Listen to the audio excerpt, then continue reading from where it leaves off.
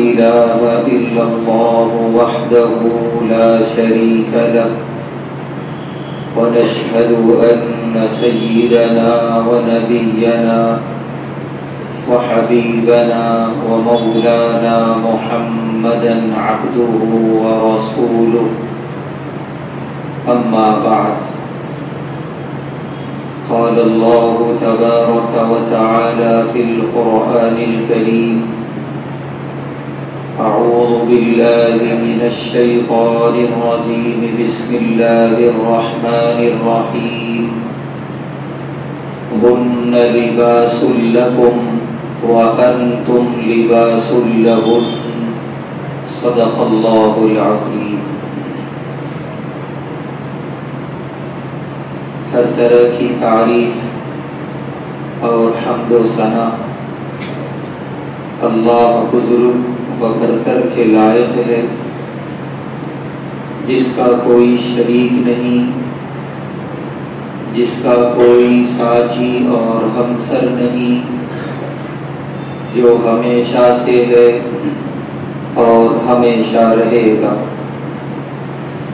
लाखों दुरूद सलाम नाजिल हों, हम सब के प्यारे आका, प्यारे हबीब अहमद मुजतबा मोहम्मद मुस्तफ़ा सल्लल्लाहु अलैहि वसल्लम पर और आपके तमाम सहाबा और अहल बैत पर मुहतरम हजरात अल्लाह ताला ने हम इंसानों को इस दुनिया में पैदा फरमाया और खसूसियत ये है, इंसान की, कि इंसान दुनिया में आते ही मुख्तलिफ़ रिश्तों से मरबूत हो जाता है, जुड़ जाता है। इंसान दुनिया में आता है तो किसी का बेटा, किसी का भाई, किसी का भतीजा वगैरह बन जाता है। जबकि दूसरी मखलूक़ात में रिश्तों का और रिश्तेदारियों का इतना एहतमाम नहीं और न अल्लाह ने इतना उन्हें मरबूत रखा है। जितना अल्लाह ने रिश्तेदारियों का एहतमाम फरमाया इंसानों के अंदर। और न सिर्फ़ इंसानों को रिश्तेदारियों से जोड़ा बल्कि उन रिश्तेदारियों से जुड़कर पूरी ज़िंदगी गुजारने की ताकीद फरमाई कि तुम अपने आप को इनसे आज़ाद नहीं कर सकते। तुम औलाद हो माँ बाप के साथ उसने सलूक ज़िंदगी भर। तुम भाई हो तो छोटे भाई और बहनों के साथ उसने सलूक ज़िंदगी भर। तुम और कोई रिश्तेदार हो किसी के तो उसके साथ तुम्हारा उसने सलूक ज़िंदगी भर। इनके साथ जुड़े रहना और इनके हकूक अल्लाह ने मुतन फरमाए, जिसे हकूकुल इबाद कहा जाता है। और उसकी बड़ी अहमियत बयान फरमाई प्यारे हबीब सल्लल्लाहु अलैहि वसल्लम ने। इतनी अहमियत कि अगर हुकूकुल्लाह में कुछ कमी रही तो अल्लाह माफ़ करने के लिए तैयार। लेकिन हुकूकुल इबाद में कुछ कमी करके चले गए तो जब तक वो बंदा न माफ़ करे, वो रिश्तेदार न माफ़ कर दे, जहाँ कमी हुई है, तब तक अल्लाह माफ़ करने को तैयार नहीं।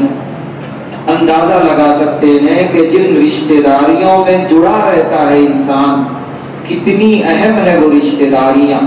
और उसको निभाना, उनके साथ उसने सलूक करना।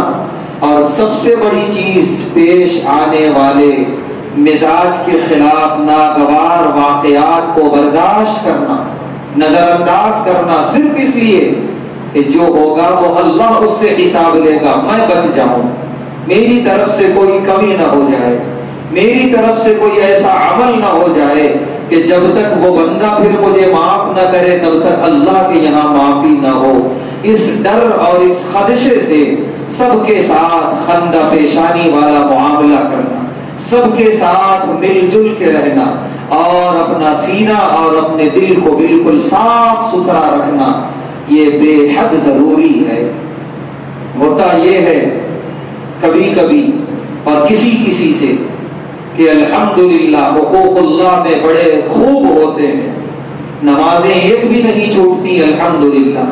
बल्कि नवाफिल की भी कसरत होती है। कुरान करीम की तिलावतें भी होती हैं, जो कि बड़ी तारीफ़ के लायक हैं, ये इबादतें, ये काम।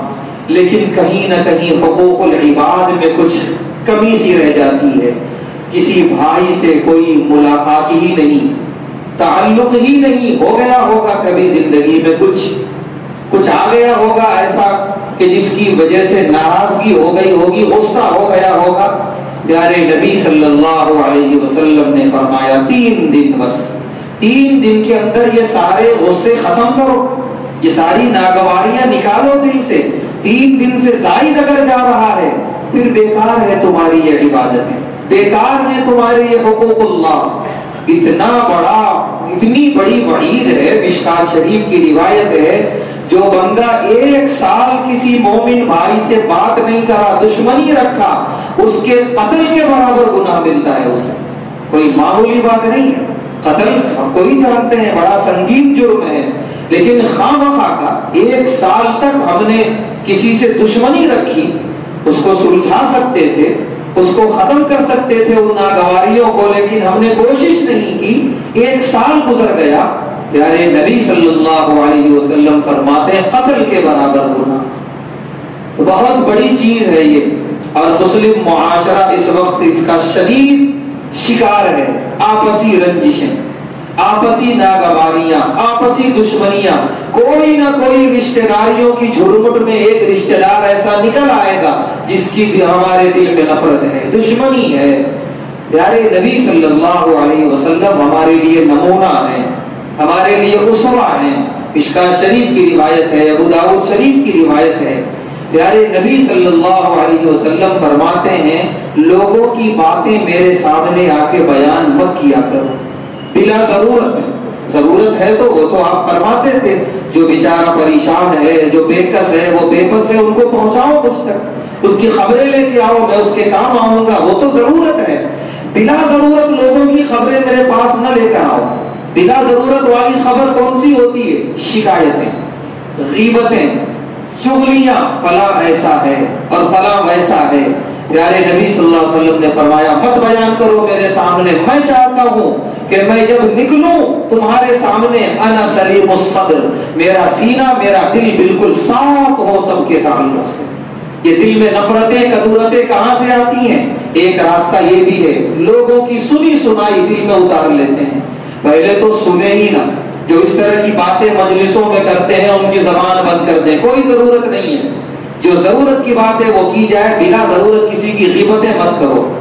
तो खामोश तरीके से, लेकिन अगर कोई कर भी दिया जाने अनजाने में, हमारी ज़िम्मेदारी ये है, उसे जहनो दिमाग से निकाल दें। नजरअंदाज कर दें, अपना सीना और अपना दिल बिल्कुल साफ़ सुथरा रखें। जन्नती होने की बड़ी निशानी यह है कि जन्नती वो होगा जिसका दिल बिल्कुल साफ़ सुथरा होगा। वरना राई के दाने के बराबर भी इसमें अगर कीना आ गया बुख्स आ गया, कपट आ गई, दुश्मनी आ गई, प्यारे नबी सल्लल्लाहु अलैहि वसल्लम ने फरमाया, जन्नत नहीं, पहले उसकी सफ़ाई जहन्नम के अंदर अल्लाह हिफाजत फरमाए। तो रिश्तेदारियों में जुड़ा हुआ है इंसान। आज जो गुफ्तगु करनी है वो ये, कि इन्हीं रिश्तेदारियों में, वैसे तो तमाम रिश्तेदारियों को निभाना है, जैसे कि अभी बात आई। उन्हीं रिश्तेदारियों में एक बड़ी अहम रिश्तेदारी है शौहर और बीवी की। इन दोनों का आपसी रिश्ता, जिसके, जिसका नाम है इस्तिवाजी रिश्ता। ये बड़ा बुनियादी और बड़ा मरकजी रिश्ता है। बुनियादी तो इतना है कि इस रूए ज़मीन पर सबसे पहला यही रिश्ता वजूद में आया। हज़रत आदम सलाम और हज़रत हवा सलाम ये सबसे पहला रिश्ता जो इस रूए ज़मीन पर वजूद में आया। फिर दूसरी जो रिश्तेदारियाँ हैं, भाई बहनों की, दीगर और कितनी रिश्तेदारियाँ हैं, सब ये इसी रिश्ते की शाखें हैं। सारी रिश्तेदारियाँ इसी से निकली हैं और इसी से फूटी हैं।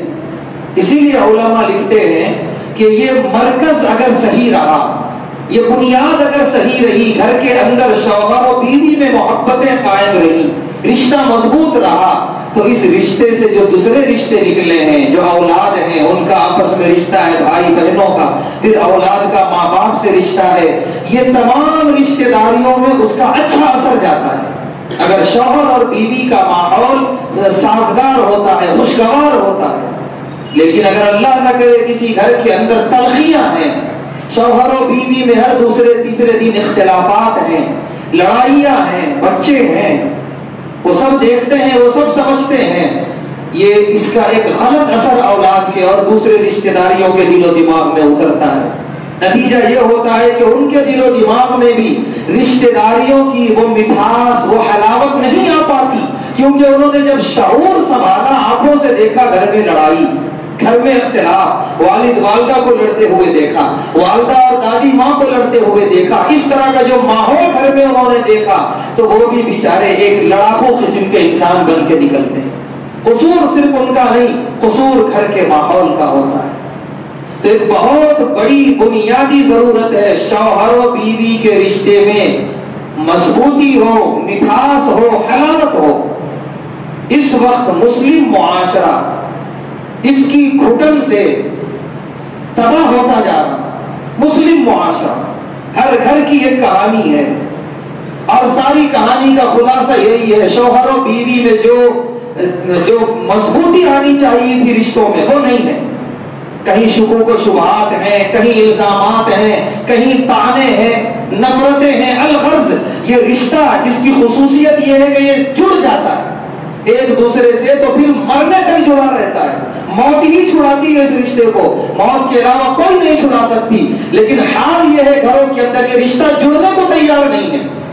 बजाहिर शोहर और बीवी तो बन गए एक निकाह के ज़रिए, और कागज़ी जो है दस्तावेजात के ज़रिए एक एक खाना पूरी हो गई। लेकिन जो रब्त होना था, जो इत्तेसाल होना था इस रिश्ते में, वो नज़र नहीं आता। ये बहुत बड़ी ज़रूरत है इस वक्त। इंसान जो भी बनता है, वो बच्चा बड़ा होकर जो भी बनेगा, चाहे वो दुनिया का आला तालीम याफ्ता बने, दीन का आला तालीम याफ्ता बने, आला किस्म का इंसान बने, उसके मिजाज में और उसकी मुस्तबिल के आने वाले, उसकी तमाम तर सलाहियतों में, तरक्यात में, इसका बड़ा दखल रहेगा माँ बाप का इख्तलाफ। जो बच्चे माँ बाप से जुदा हो जाते हैं, वो वजह माँ बाप का तलाक, जुदाई वो पढ़ लिख के भी बहुत आगे बढ़ जाते हैं, लेकिन उनके दिल में कसक सी रह जाती है कि मेरे माँ बाप को मैंने एक साथ मुतसिल नहीं देखा कभी। एक साथ वो रक्त में नहीं देखा जिस जो ये रिश्ता जिसका तकाजा करता है। माँ से मुलाकात करनी हो तो नानी के यहाँ जाना पड़ता है, और बाप से मुलाकात करनी हो तो दादी के यहाँ जाना पड़ता है। ये एक कसक जो उनको बहुत ज़्यादा तरक्यात से रोकने वाली होती है, हमेशा। देखिए, एक चीज़ है माँ बाप का दुनिया से चले जाना। ये तो अल्लाह की तरफ़ से है। बंदा इस पर राज़ी हो जाता है। कोई यतीम है, वो इस बात को कबूल कर लेता है, अल्लाह के फैसले पर राज़ी हो जाता है। लेकिन माँ बाप ज़िंदा है दुनिया में, आँखों के सामने। माँ अलग ज़िंदगी गुजार रही है, बाप अलग ज़िंदगी गुजार रहा है। ये हर रोज औलाद के लिए एक मौत है। हर रोज जिस रोज औलाद सोच लेती है इस बात को, वो रात में सो नहीं पाती। वो यही कहती है औलाद के माँ बाप दुनिया में न होते तो हमारे लिए काबिल बर्दाश्त था। होते हुए जो हम ये हालत देख रहे हैं ये हर दिन हमारी एक मौत है। बहुत बड़ी ज़िम्मेदारी है घरों के शौहर और बीवियों की। घरों के अंदर जो बड़े माँ बाप हैं, वो हज़ार इनके अंदर इख्तलाफात होंगे, इनके नज़रिए में फ़र्क होगा। अपनी आने वाली नस्ल के लिए अपनी अना को कुर्बान करें अपने आने वाले खानदान को सही तरीके से पनपने और उनकी सही तरीके से बर्दाश्त और परवरिश के लिए अपनी अना को और अपने तकबर को कुर्बान करें, छोड़ दें। झुक जाएँ एक दूसरे के सामने। एक दूसरे की गलतियों को कबूल कर लें, माफ़ कर दें और मिलजुल के रहें। इसकी बरकत यह होगी। कोई भी आदमी जब झुकता है अल्लाह के लिए, रायगा नहीं जाता। उसकी बरकत यह होगी आगे आने वाली नस्ल। एक बड़ा नाम रोशन करने वाली इंशाल्लाह नस्ल बनेगी वो। उसके ज़रिए दुनिया और आखिरत का बड़ा जखीरा देंगे अल्लाह तबारक इस रिश्ते को अल्लाह ताला ने जो समझाया है सूर्य बकरा के अंदर, आयत का एक टुकड़ा है, लेकिन उसमें बहुत कुछ अल्लाह ने फरमा दिया। उन लिबासुल्लकुम तुम लिबासुल्लकुम अल्लाह ने फरमाया, ऐ शौहरो, ये बीवियाँ तुम्हारा लिबास है और तुम उनका लिबास हो। मुफसरीन लिखते हैं, इससे अच्छी ताबीर कोई हो नहीं सकती इस रिश्ते को बताने के लिए। लिबास इंसान को जीनत बख्शता है। हर कोई जानता है, बेलिबास इंसान बड़ा अच्छा नज़र नहीं आता। लिबास के ज़रिए इंसान की खूबसूरती आती है। जितना इंसान अपने लिबास को अहमियत देता है, उतना वो लिबास उसको इज़्ज़त देता है। कोई आदमी अच्छे से अच्छा लिबास पहनता है, अपनी इस्तात के बकदर, खूब साफ़ सुथरा लिबास को रखने का एहतमाम करता है, खूब खुशबुओं से मुआवजा करता है, हज़ारों के बीच में वो एक मुमताज़ नज़र आता है। और कहने वाले कहते नज़र आते हैं कि इस आदमी की तबीयत में बड़ी नजाफत, बड़ी सफ़ाई है माशाअल्लाह इसके लिबास से ज़ाहिर हो रहा है। हम लिबास को अहमियत दिए तो लिबास ने हमें इज़्ज़त दी इंसानों के दरमियान। अल्लाह ने इस तरफ़ इशारा किया है कि तुम ऐसा हो और ऐ बीवियों एक दूसरे को अहमियत दोगे तो तुम्हारी खुद ब खुद इज़्ज़त बनेगी। शौहर अगर बीवी को अहमियत दे, दे रहा है और समझ रहा है कि बीवी एक अल्लाह की नेमत है मेरे लिए और ये अपनी पूरी ज़िंदगी और अपनी पूरी चौखट छोड़ के आई है मेरे घर पे और फिर उसके शाया निशान उसके साथ बर्ताव कर रहा है, उसने सलूक कर रहा है। ये बीवी उसके लिए काबिल तारीफ़ बनेगी ज़िंदगी के दुनिया के हर कोने में। उसकी जबान से तारीफ़, उसके बनाव सिंगार से, उसकी सेहत से समझ में आएगा शौहर उसका कितना ख्याल रखता है। इसी तरह शौहर, अगर वो अपनी बीवी की इताद और फरमा बरदारी से खुश है उसके उसने सलूक से खुश है। तो वो शौहर एक नहीं, चार जगह जाके बयान करता हुआ नज़र आएगा कि अल्हम्दुलिल्लाह, अल्लाह ने एक नेक सारे सौजा अता फरमाई है। और उसकी खुशी से, उसकी खंदा पेशानी से, उसके कारोबार में जो उसकी दिल, उसका जो दिल का लगना है उससे खुद समझ में आएगा, बंदा घर से बड़ा पुरसकून है। तभी ये बहुत आराम से कारोबार करता है। बड़ा खंदा पेशानी से मिलता है। वरना जो घर के सताए हुए बेसुकून होते हैं, उन्हें घर के बाहर कहीं सुकून नज़र नहीं आता। उनके चेहरों से नज़र आता है कि बड़े बेसुकून है ये लोग। लेकिन शौहर का सुकून बताता है कि इनकी घर वाली बड़ी नेक है। तो जो एक दूसरे को अहमियत देंगे, उन्हें इज़्ज़त भी मिलेगी। उन लिबासुल्लकुम वो अंतुम लिबासुल्लहुन इस लफ्ज लिबास से अल्लाह ताला ने इशारा कर दिया। लफ्ज लिबास मुबसरीन लिखते हैं, इंसान के अंदरूनी अयूब को छुपाता है। अगर कोई आयब ना भी हो तो सतर को छुपाता है। तो ये लिबास बड़ा अहम काम करता है। अंदरूनी आजा कि जिसका खुला रहना इंसान को बिल्कुल भी पसंद नहीं, ये लिबास सत्तारी करता है, उसे छुपाता है। इस लफ्ज लिबास के ज़रिए अल्लाह ताला ने इशारा दे दिया कि शौहर बीवी का लिबास और बीवी शौहर का यानी ज़रूर इन दोनों में कमियाँ होंगी। तो इंसान जितने दुनिया में आए, अंबिया रसूल को छोड़ के, सबके अंदर कमी है। वो खुद प्यारे नबी सल्लल्लाहु अलैहि वसल्लम ने अहादीस में उसकी तरफ़ इशारा किया। आयतें बताती हैं कि अंबिया और रसूल के अलावा कोई इंसान ऐसा नहीं है जो ये दावा कर सके, मेरे अंदर कोई कमी नहीं है। मेरे अंदर कोई आयब नहीं है, हो ही नहीं सकता, हर एक के अंदर। तो बीवी के अंदर भी कुछ आयब होगा, कुछ कमी होगी। शौहर के अंदर भी कुछ कमी होगी। अल्लाह परमाने याद रखना, दोनों एक दूसरे का लिबास हो। बीवी की कमी शौहर छुपाए। शौहर की कमी बीवी छुपाए। एक दूसरे के कमियों को अयूब को नजरअंदाज किया जाए। ऐसा नहीं कि बीवी की कुछ कमी नज़र आई और शौहर का गुस्सा जो है आसमान पे पहुँचा। और उसके बाद न जाने क्या क्या लान तान और ऐसा भी होता है कि शौहर की कोई कमी अगर आ गई नज़र और फिर बीवी की जबान करा दिया इतनी के बस नाकाबिल बर्दाश्त या गलत है। जब वो चीज़ें दोनों के अंदर हैं, अलग अलग तरीके से इसके अंदर कमी अलग तरीके की होगी, उसके अंदर कमी अलग तरीके की होगी। अल्लाह फरमाए, जबान बंद, न एक दूसरे के सामने ताने और जबान दराजियाँ और न एक दूसरे के पीछे अपनी दूसरी मजलिसों में। बीवी के लिए जायज़ नहीं है कि अपने शौहर की बुराई करे, अपने घर, अपने माई के जाकर। शौहर के लिए जायज़ नहीं है अपने घर वालों के पास। या नहीं तो अपने दोस्तों की मजलिसों और महफिलों में अपनी बीवियों की बुराइयाँ बयान करे? जब यह दरवाज़ा खुल जाता है, उस घर के टूटने में देर नहीं लगती। उस घर के टूटने में कोई देर नहीं लगती। लिहाजा शौहर और बीवी को चाहिए कि वो एक दूसरे के अयूब को छुपाने वाले बने, एक दूसरे की कमियों को नजरअंदाज करने वाले बने। ये दूसरा इशारा लफ्ज लिबास के ज़रिए जो अल्लाह तबारक ने दिया। लिबास, इंसान कभी लिबास का इंतखाब करता है मौसमों की नागवारी से निमटने के लिए। सर्दी के मौसम आते हैं, उन मौसमों में इंसान अलग किस्म का लिबास मुंतखब करता है, सर्द हवाओं से बचने के लिए। गर्मी का मौसम आता है, गर्मी के लू से बचने के लिए इंसान अलग लिबास का इंतज़ाम और एहतमाम करता है। बारिश के कतरात से अपने आप को बचाने के लिए इंसान अलग लिबास पहनता है। हर मौसम में लिबास इंसान का साथ देने वाला होता है। अलग अलग शक्ल बदल कर लफ्ज लिबास के ज़रिए लिखते हैं, अल्लाह ने इधर इशारा किया कि ज़िंदगी में मुख्तलिफ़ मौसम आएँगे। परेशानियाँ भी आएँगी, मुसीबतें भी आएँगी, बीमारियाँ भी आएँगी तो खुशहाली भी आएगी, सहूलतें भी आएँगी, लेकिन इम्तिहान हो जाता है मुसीबतों और परेशानियों के जमाने में। अल्लाह ने फरमाया, याद रखना, तुम लिबास हो एक दूसरे के।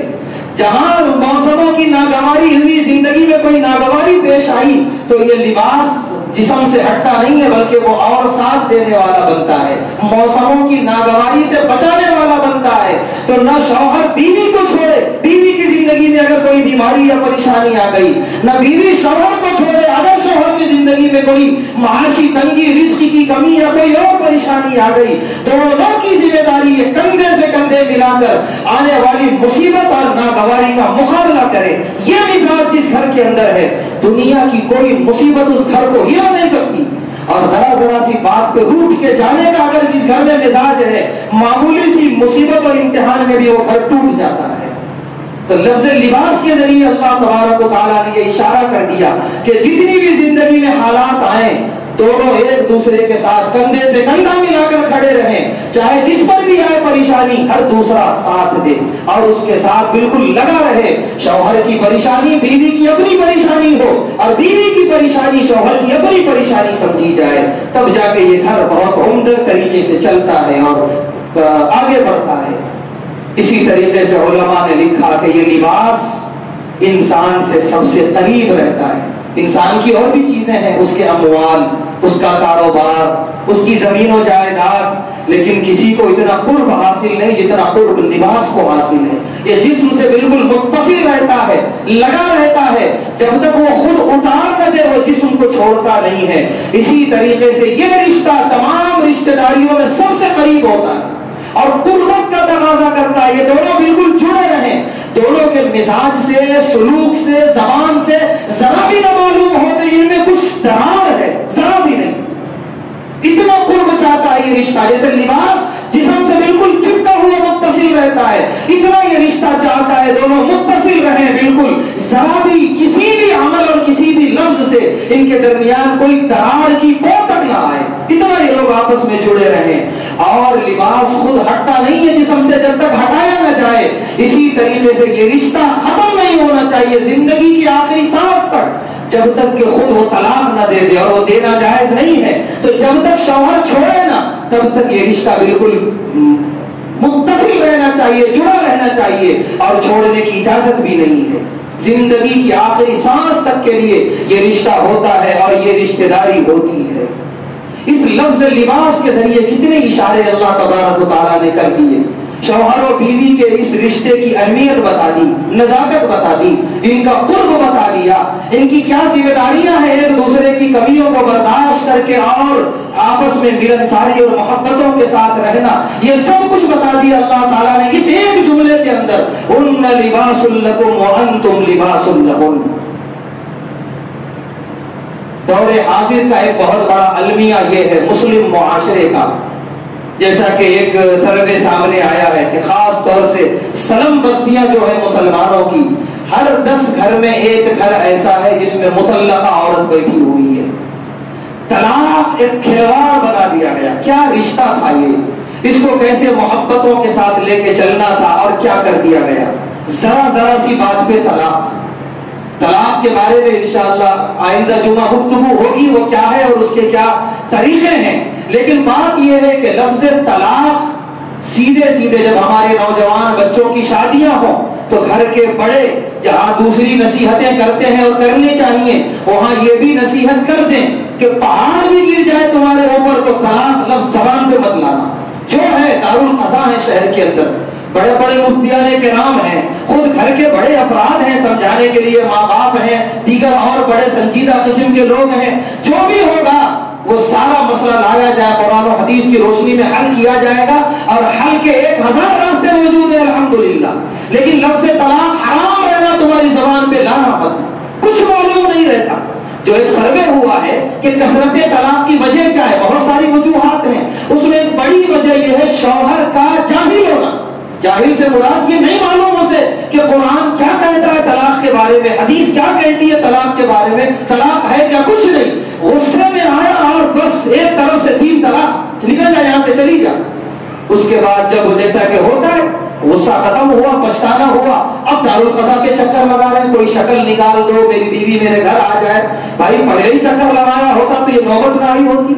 पहले ही घर के बड़े अपराध को बिठा के कुछ हल निकालने की कोशिश की होती तो ये नौबत ना आई होती तो ये सारी वजह है कि उसमें बड़ी वजह, वजूहत और भी है, गलतियाँ लड़कियों की तरफ़ से भी है, लेकिन बड़ी वजह है आदम इल्म इल्म का ना होना। कुरान और हदीस के जो मोटे मोटे मसले हैं, निकाह और तलाक के, उससे भी ना वाकिफ होना। नतीजा ये है कि औरतें मुतलका होकर बैठ रही हैं। कोई मामूली बात नहीं है। जिस मुआशरे में मुतलका औरतों की कसरत होती है, वो मुआशरा दब जाता है, वो उठ नहीं पाता।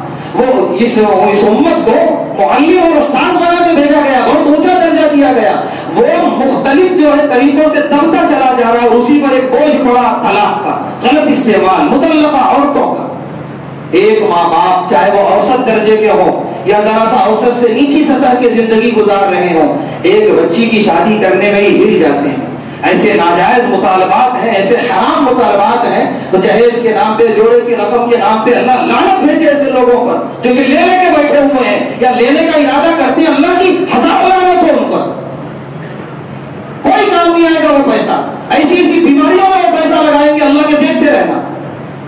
माँ बाप इस मुसीबत से बच्चियों को जब बाली पकड़ी होती है बच्चियाँ, जब निकाह की उम्र को पहुँचती है, रातों में वो उठ कर होते हैं। कि अल्लाह किसी तरह ये बोझ हल्का हो जाए कोई निकल जाए, एक रास्ता किसी तरह ये इज़्ज़त के साथ मेरी बच्ची घर से रुखसत हो जाए और उधर से इतना बड़ा बड़ा मुँह खोल के आते हैं, ये चाहिए और वो चाहिए।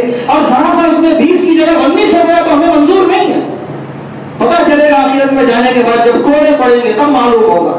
खैर एक बाप और एक माँ किसी तरह एक लड़की को निकालते हैं, रुखसत करते हैं अपने घर से बड़ी इज़्ज़त के साथ। उसी में वो माशी एतबार से हिल जाते हैं, कर्ज के बोझ में दब जाते हैं बेचारे। लेकिन एक सुकून होता है, चलो, इज़्ज़त के साथ मेरी बच्ची रुखसत हुई, अपने एक मकान तक पहुँची। तस्वुर कीजिए, कुछ दिनों के बाद मुतलका होकर जब वो घर पे आती है। कितना बड़ा पहाड़ गिरता होगा माँ बाप के सीनों पर। अब उसका क्या होगा? अगर एक दो बच्चे हैं तो उन बच्चों का क्या होगा? अब वो मुस्तबिल का क्या होगा उन बच्चों का? अब जो ये नस्ल चढ़ेगी तो ये किस किस्म की होगी? और ये सारी बुराइयाँ एक तरफ़ बेहयाई का बहुत बुरा रास्ता खोलता है शैतान। जो पुलिस के महकमे की तरफ़ से जो खबर आई है कि मुसलमानों में जायज़ है बेवा औरतों से निकाह करना मुतलका औरतों से निकाह करना तो क्यों नहीं करते वो लोग? क्यों नहीं रास्ते निकालते हैं इनकी शादियों के और निकाह के? वो, वो सर्वे में वो लोग खुद कह रहे हैं कि हम तो हमारे मज़हब में तो नहीं है। बेवाओं से शादी करना मुतलका से। ये मुसलमानों में क्यों नहीं है? पहला सवाल तो ये कि तलाक क्यों दिया गया? लेकिन अगर मुतलका हो गई तो क्यों नहीं? कोई रास्ता निकाला जाता उसके लिए। वो कह रहे हैं कि बेहयाई के अड्डों पे जब हम छापे मारते हैं वहाँ ऐसी भी मुस्लिम लड़कियाँ निकलती हैं जो मुतलका होती हैं कहीं की। ये बातें हैं ये हकीकत है। कब तक आगे छुपाएँगे हम इससे? कब तक हम जो है ये ढोल रचेंगे दीनदारी का हम बड़े दीनदार हैं हम ये हैं और हम वो हैं हमारे हज इतने हैं हमारे उम्र इतने हैं इतने उम्र कर लिए कब तक चलेगा ये मुस्लिम मुआशरा अल्लाह बख्शेगा नहीं मुस्लिम मुआशरा ये जो जिस तबाही में जा रहा है जिस बेहयाई की तरफ़ जा रहा है आने वाली नस्लों से कहीं बदला न ले ले अल्लाह ताला डरना चाहिए क्या माहौल हमने बना रखा है यहाँ मुतलका औरतों की शादी बेवा औरतों की शादी पहली ही शादी इतनी मुश्किल बना दी गई है लड़कियाँ पसंद करने जाते हैं जरा सा कद कम है तो हाइट कम है बच्ची पसंद नहीं है बाल छोटे हैं बच्ची पसंद नहीं है क्या तमाशा बना रखा है तुमने पैदा किया उस बच्ची को उस रब्बे कायनात ने पैदा किया है जितनी तकलीफ़ उस माँ बाप को होती है उससे ज़्यादा उस हर्ष पर बैठे हुए रब्बुल आलमीन को होती है क्या वजह है घरों के अंदर ये बर्बादियाँ ये तबाहियाँ क्या वजह है ये घर आलिशान महल बने हुए घरों के और अंदर जो है सब कुछ टूटा हुआ है पूरा घर टूटा हुआ है पूरा निज़ाम जो है टूटा हुआ है तो इसीलिए ज़रूरत इस बात की है कि हम लोग इस बात को समझें कि ये माँ बाप और शौहर और बीवी ये रिश्ता बड़ा अकील की है, ये रिश्ता बड़ा नाजुक है। इस रिश्ते की अहमियत को समझें और समझने के बाद घरों के अंदर तलाक की वारदात को रोकने की पूरी कोशिश की जाए। नौजवानों को समझाया जाए, लड़कों को भी और लड़कियों को भी कि इस मोहब्बत और इस मिठास को बाकी रखने की पूरी कोशिश की और इसके अलावा अगर कभी नौबत आ गई, तलाक वगैरह की तो किस तरह तलाक दी जाए और तलाक का क्या मतलब है? इन अगर ज़िंदगी रही तो आइंदा जुम्मा उस पर गुफ्तु होगी। अल्लाह तबारक ताली से दुआ है। अल्लाह तबारक ताली हम तमाम के घरों में उल्फतें और मोहब्बतें पैदा फरमाए। इस दिवाजी ज़िंदगियों में खूब उल्फतें और इतफाक़ और इतिहाद की दौलत अता फरमाए। तलाक से और हर तरह के इख्तलाफा से हिफाजत फरमाए। वाह